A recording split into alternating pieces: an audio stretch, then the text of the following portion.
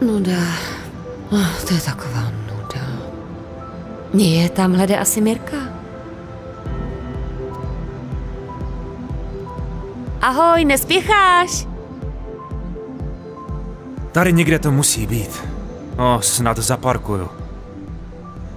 Do háje. Prosím, to ne! Noční můra každého řidiče. V tento moment nezbývá, než dupnout na brzdu, strhnout volant a modlit se.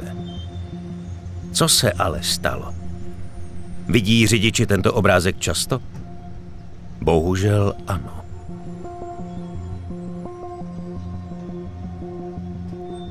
Vozidlo jede rychlostí 30 km v hodině. Kočárek se v zorném poli řidiče objevil spoza dodávky pouhých 6 metrů před autem. Při rychlosti 30 km v hodině potřebuje auto k zastavení 13 metrů. Srážka je tedy nevyhnutelná.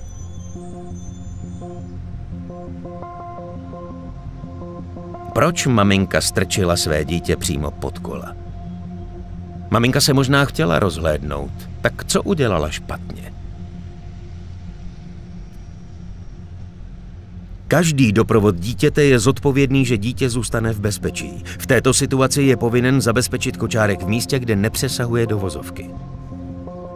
Před vstupem do vozovky se musíš přesvědčit, že žádné vozidlo nejede nebo že ti dává přednost a to na přechodu i mimo něj. Obejdi kočárek a rozhlédni se.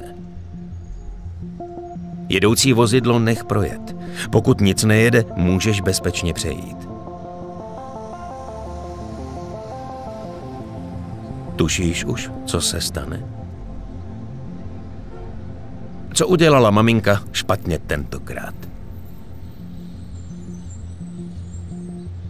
Maminka se sice rozhlédla, ale pak opustila pozici, ze které do ulice viděla. Mezitím z pozarohu vyjelo další auto. Nikdy nesmíš strčit kočárek tam, kam dobře nevidíš.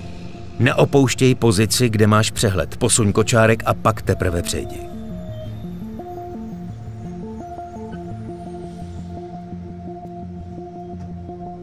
Na otázku, proč maminky často strkají děti v kočárku přímo pod kola projíždějících vozů, se jen těžko hledá odpověď. Přemýšlej. Chodci nejsou nesmrtelní. Ty to zvládneš, CZ.